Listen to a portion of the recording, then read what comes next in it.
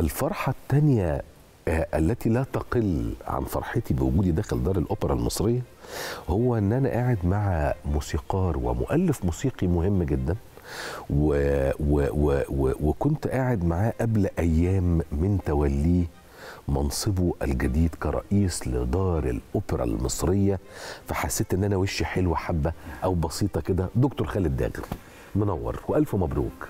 الله يبارك فيك و يعني أهلا بحضرتك واهلا بالسادة المشاهدين. وفعلا حضرتك كان وشك حلو عليا جدا. يعني غالبا أنا مؤخرين يعني بس أديني إيه خدت لي من الحظ جانب لا دي حقيقة يعني. كنت من أوائل الناس اللي أنا تفائلت يعني أو تحديدا وأنا قاعد معاك يعني جات لي أخبار كويسة. يا رب الحمد و... لله. وده طموح أنا طول الوقت طول عمري يعني.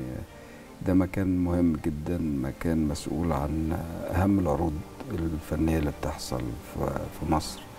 وأهم الفرق المصرية إذا كانت فرق موسيقى عربية أو موسيقى كلاسيكية أو أوبرا.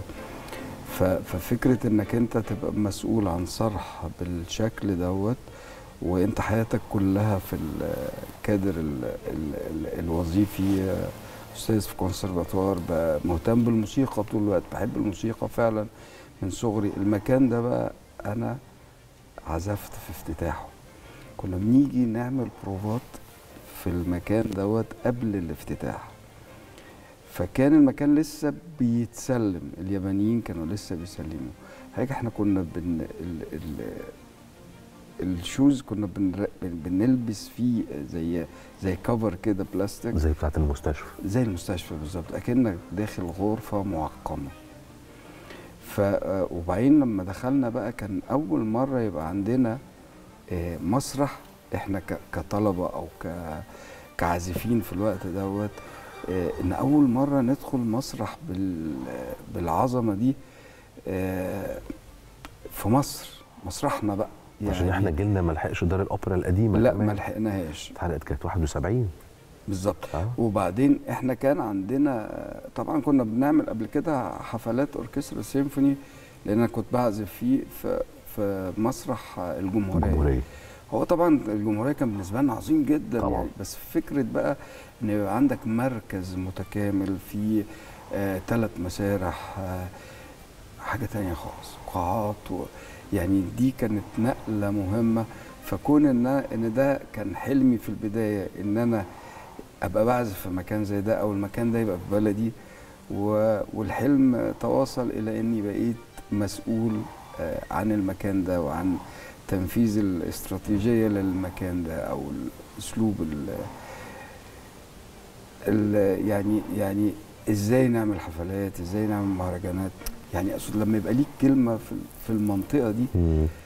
دي حاجة بتسعدني جدا وحاجة أنا طب ده هيخليني أفكر معاك بصوت عالي لأنه أنا بتكلم مع رئيس دار أوبرا فنان مفعم بالفن وبعدين حالم وبعدين عنده طموح وعنده رؤية ولما كنا قاعدين قبل تولي المنصب وجات لنا الأخبار الحلوة بعدها بكام يوم فقعدت تتكلم معايا على طموحاتك المتعلقة بالمكان ده وكان وقتها البيت الفني طب.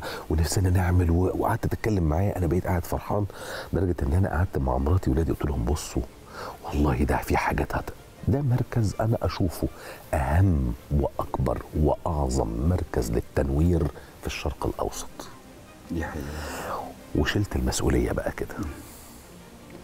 مسؤولية دار الأوبرا على بعضها وعندنا بقى جواها أوبرا اسكندرية ودمنهور وطنطا وحدث ولا حرج والبيوت الف يوه! هتعمل إيه؟ آه ربنا يعيني. يا رب. لا يعني هي الأفكار كتيرة. آه هدفي الأساسي هدفي الأساسي إن إن نخرج بالعروض من داخل الجدران بتاعت المسارح. لأن المسارح آه مهما كانت المسارح فيها كبيرة فهي عدد برضو محدود من المشاهدين.